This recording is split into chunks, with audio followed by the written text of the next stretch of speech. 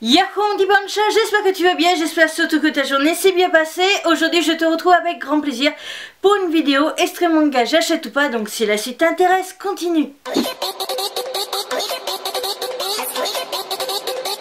Il faut savoir que je n'ai pas eu le temps beaucoup de lire en boutique ou quoi que ce soit. D'ailleurs, j'ai dû utiliser une, application pour pouvoir lire euh, les chapitres en question. Je t'en parlerai prochainement parce que j'ai demandé sur Instagram si ça pouvait vous intéresser que je vous parle d'applications en rapport avec les mangas et ça vous intéressait plutôt pas mal.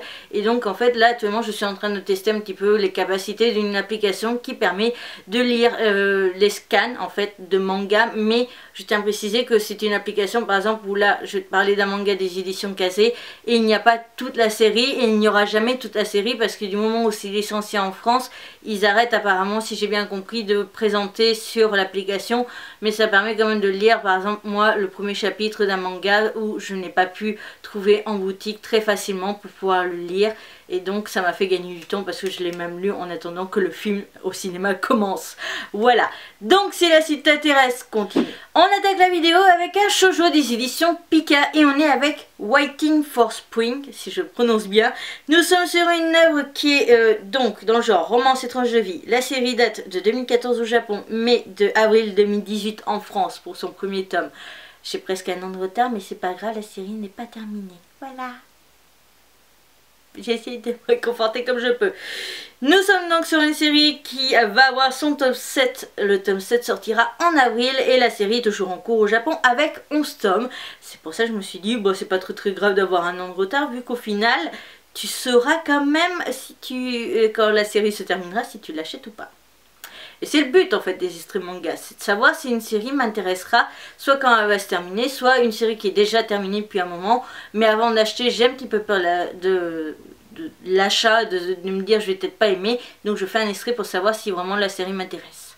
Voilà, donc, en ce qui concerne le manga Waiting for Spring, donc en gros, dans les grandes lignes, la fille, elle est complètement invisible, personne ne qui sait qu'elle existe. On l'utilise un petit peu, euh, les autres, les filles un peu plus, qui ont un peu plus de caractère, l'utilisent pour faire les ménages, etc. Et que l'autre, elle va fermer sa gueule. elle travaille, elle a un petit travail et lors du travail, dès les premières pages, je le dis qu'il y a dans, le, premier extrait, et bah tout simplement il y a un garçon qui va demander à ce qu'elle sorte du resto où elle travaille pour qu'un de ses potes fasse une déclaration, seulement c'était pas la bonne nana, voilà. Et ça va enchaîner sur une relation sûrement d'amitié entre les garçons. Ça va faire sûrement un rêve ou un truc dans le genre, je suppose. Je suppose. Je n'ai lu que jusqu'à à peu près le moment où il se, le mec se trompe de nana et qu'ils expliquent ah bah non c'est pas elle, elle est trop banale et nana. Je dis qu'elle ressemblait à une déesse et l'autre ah mais il y avait que ça dans le resto que ça. Merci pour la, fille. Mais bon, toujours est-il, en ce qui concerne ce que j'en ai lu, j'ai lu un peu plus loin que vraiment quand il lui fout un vent devant un resto, j'ai lu un tout petit peu plus loin. Jusqu'à un endroit où il se cache dans le buisson, en gros. Tous.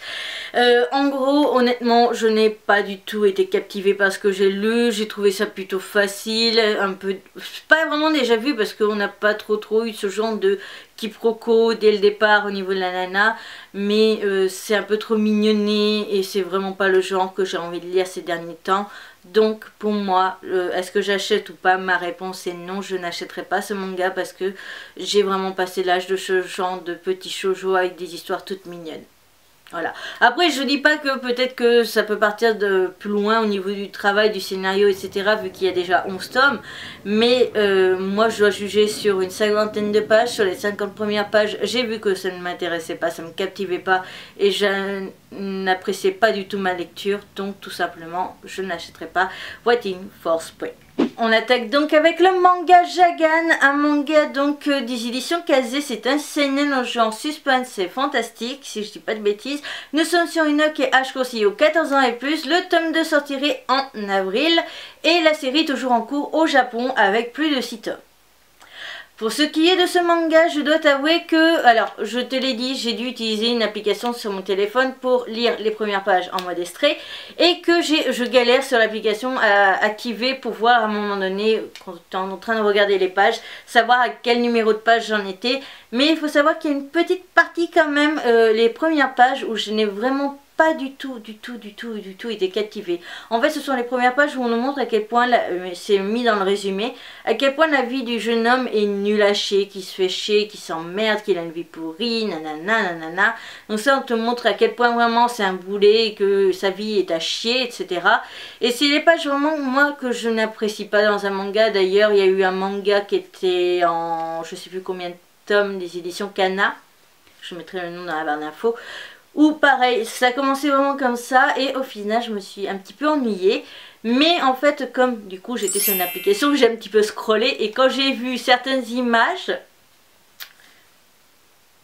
voilà, et ben je me suis dit, ok, fais demi-tour, il faut absolument que tu lises parce que là, vu ce que tu as vu, ça te plaît. Voilà. C'est un manga genre Halloween. Déjà, au niveau du thème, je savais que c'était un manga dans le genre Halloween. Donc forcément, je me suis dit, ok, ça c'est fait pour moi. Et euh, bon, les premières pages, elles étaient un petit peu ennuyeuses. Ça, je m'en doutais un petit peu. Mais c'est vrai que ça m'a pas forcément motivé à continuer. Et euh, quand j'ai aperçu ce que j'ai aperçu, j'étais là, ok, il faut que je fasse demi-tour et il faut que je continue la série. Et en ce qui concerne donc les premières pages, bah en gros hein, le résumé résume vraiment ce qui se passe dans les premières pages. C'est-à-dire qu'on suit les aventures d'un jeune homme tout à fait basique, sauf qu'un jour il va avoir affaire à une créature assez particulière, hein, que je t'aurais mis à côté de moi depuis tout à l'heure.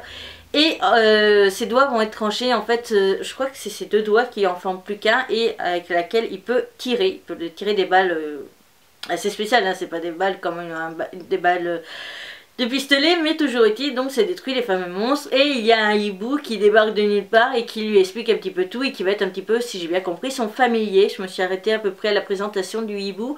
Et si, les, pages suivantes où il y a euh, avec euh, une fille, ou c'est une fille cette fois-ci qui devient une créature euh, monstre. Donc j'ai vaguement j'ai survolé en fait les pages en ce qui concerne la fille parce que je pense que j'avais atteint mon quota de pages. Mais je voulais voir un petit peu comment est-ce que ça allait donner par la suite et en ce que euh, j'en ai lu les premières pages que j'ai lues je peux te dire que j'ai été conquis et que je n'attends qu'une seule chose. Je pense que ça y est tu l'as casé toi-même que la série se termine au Japon. Voilà, j'attends qu'une seule chose maintenant, c'est que la série va se terminer au Japon, parce que je n'ai qu'une hâte, c'est de pouvoir lire cette série. Voilà, à part si Kazé m'annonce que je peux me permettre, comme un peu certains Kodomo ou quoi, euh, lire un bout, m'arrêter à certains moments et reprendre, un petit peu aussi comme euh, euh, Girl of the End de Akata, où on pouvait faire des pauses à certains endroits et reprendre genre trois mois plus tard sans trop trop être perdu. À part si on m'annonce ça, que je peux vraiment le faire sur certains tomes, je serai obligée forcément d'attendre la fin de la série, mais j'ai juste une hâte, c'est que vraiment elle se termine très très vite. Pas trop vite parce que j'aimerais bien quand même qu'elle soit en une dizaine de tomes, ça pourrait être quand même quelque chose d'intéressant, mais j'ai vraiment qu'une seule hâte, c'est que ça se termine pour pouvoir la lire. Et bien entendu, ça c'est une série que je te garde précisément pour le Halloween Manga Challenge. Donc ce sera un manga forcément que je vais te garder pour le Halloween Manga Challenge. Alors forcément pas celui de l'année 2019 parce que je pense pas que la série soit terminée d'ici là. Mais peut-être le Halloween Manga Challenge 2020 ou 2021, ça, ça ferait très plaisir de pouvoir le présenter. J'ai juste hâte de le lire. Je crois que j'ai eu un aussi gros coup de cœur que le manga euh, Dog N, ça je crois. Ouais, Dog N, euh, que je vais te présenter des éditions Kana dans le précédent extrait manga qu'il y a eu cette année. On va parler l'extrait d'un manga donc j'ai complètement oublié le nom et tu comprendras très vite pourquoi j'ai oublié son nom. C'est celui-là. Alors, pourquoi j'ai oublié le nom de ce manga? Tout simplement parce que j'ai totalement détesté les premières lignes. Alors autant quand j'ai lu le résumé, on était donc sur le fait qu'il y ait deux garçons, qu'il y en ait un qui ait un peu peur des filles et le deuxième revient un jour comme ça après l'école, euh, s'absente 3-4 jours euh, pour maladie et débarque en étant une fille. Ça c'était le résumé que j'avais eu. En soi, tu peux te dire, bah il a fait, euh, c'est une personne transgenre, il a changé de sexe en cours de route, etc. etc. Donc le manga m'intéressait vu que je suis plus ou moins ce genre de personne. Malheureusement, en fait, ce que j'en ai lu m'a complètement énervé, dégoûté et a fait que j'ai failli balancer et donc ne pas respecter le manga et le balancer à l'autre bout du magasin, tout simplement parce que au final, le changement de corps de ce garçon n'est pas dû à un choix personnel, mais un choix plutôt de la nature. Je m'explique, tout simplement, dans ce manga, en tout cas les premières pages que j'en ai lues, ce n'est pas l'humain en soi qui décide de changer de sexe, mais c'est tout simplement dans le pays du Japon, si il manque des femmes, certains garçons par la magie de la nature, change naturellement de corps, un peu comme font les poissons clones ou les escargots. Ok.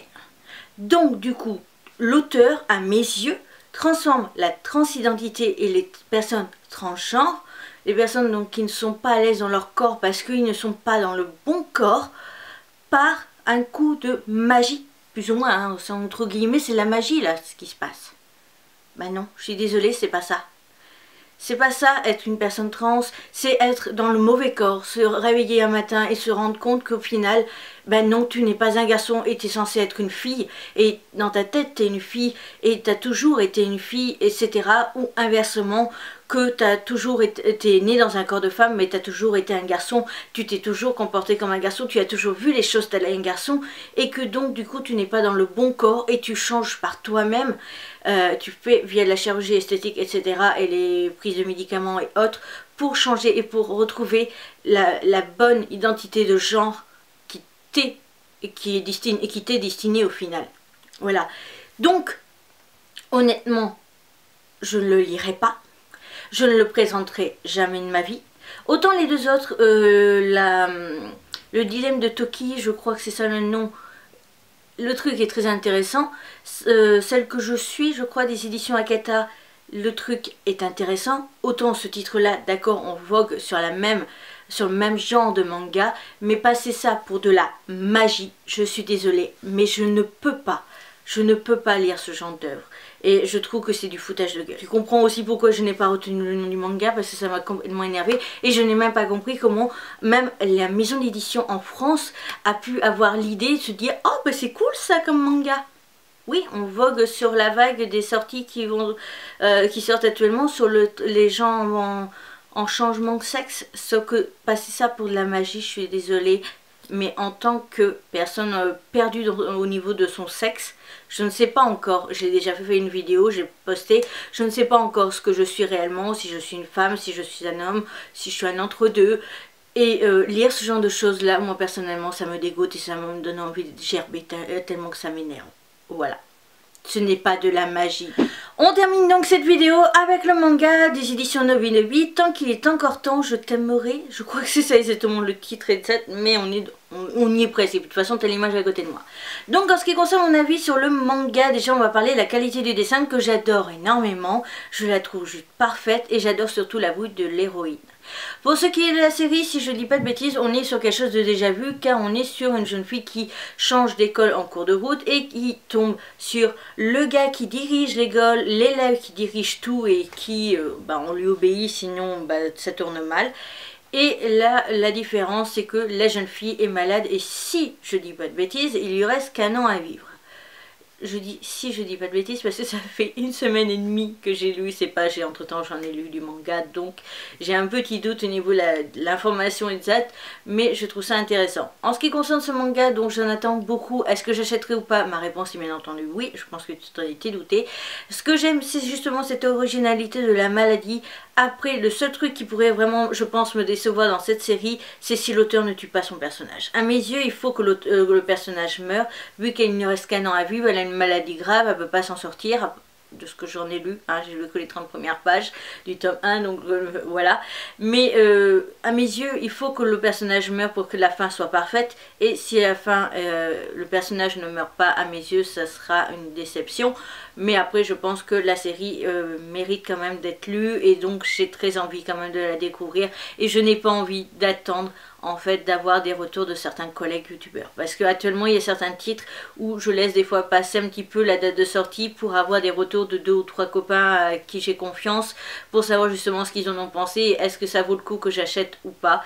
Donc voilà. Mais en ce qui concerne le manga tant qu'il est encore temps je t'aimerai. Je pense que je ne vais pas attendre que euh, d'avoir les retours etc et que je vais commencer à acheter très rapidement je t'invite bien entendu à aller me retrouver sur les deux vidéos que je te mets en recommandation, à cliquer sur ma tête de panda si ce n'est toujours pas fait pour t'abonner, et aller voir dans la barre d'infos pour avoir et le résumé du manga ainsi que les liens vers mes réseaux sociaux.